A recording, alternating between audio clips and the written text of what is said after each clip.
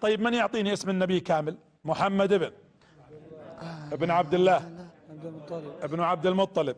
ابن هاشم. ابن عبد مناف. ابن قصي. ابن كلاب. ابن مرة. ابن كعب. ابن لؤي.